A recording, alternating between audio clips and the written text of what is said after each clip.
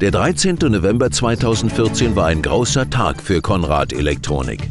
Am Hauptsitz in Wernberg-Köblitz wurde der Erweiterungsbau des Logistikzentrums unter Mitwirkung des bayerischen Ministerpräsidenten Horst Seehofer feierlich eingeweiht. Bereits im April 2012 war der Spatenstich erfolgt und nach zweieinhalbjähriger Bauzeit und einem Investitionsvolumen von rund 56 Millionen Euro ging das Logistikzentrum nun in Betrieb. Bayern blüht und es äh, kann nur blühen, wenn es solche Unternehmen gibt.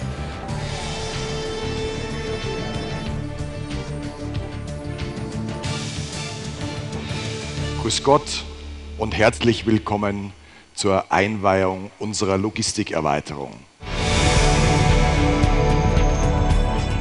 In der Ansprache verwies der Vorstandsvorsitzende Dr. Werner Konrad darauf, dass durch die neue Anlage jetzt das Arbeiten für die Mitarbeiter im neuen Logistikbereich deutlich einfacher und effizienter werde. Dass dem Standort Wernberg-Köblitz gegenüber einem Standort in Polen der Vorzug gegeben wurde, zeige die Verbundenheit zur Region.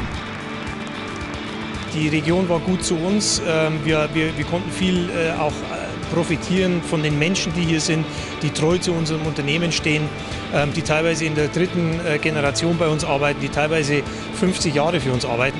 Das alles schafft natürlich schon eine emotionale Bindung und Nähe.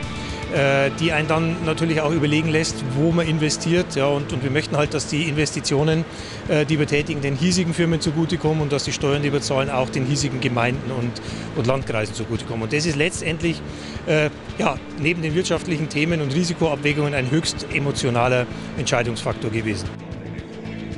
Der bayerische Ministerpräsident Horst Seehofer war voll des Lobes für das Oberpfälzer Unternehmen. Konrad Elektronik ist ein absolutes Flaggschiff für uns, was die Arbeitsplätze angeht, was äh, die Bedeutung für die Region angeht. Äh, äh, mehrere tausend Familien haben dadurch ihren Lebensunterhalt. Junge Leute werden hier ausgebildet, kriegen den Proviant für das ganze Leben mit. Auch der Schwandorfer Landrat Thomas Ebeling würdigte die Leistungen von Konrad Elektronik für die Region. Bürgermeister Georg Butz bedankte sich nochmals ausdrücklich für die Standorttreue des Familienunternehmens. Wir bedanken uns bei der Firma Konrad für die Ansiedlung Mitte der 90er Jahre hier in Wernberg-Köblitz und heute für durch diese Erweiterung dokumentierte Standorttreue.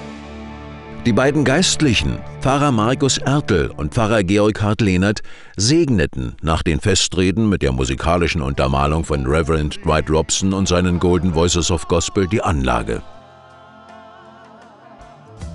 Anschließend lud Moderator Dr. Bernhard Heimerl die Verantwortlichen dazu ein, den Startknopf zu drücken und die Anlage damit endgültig in Betrieb zu nehmen.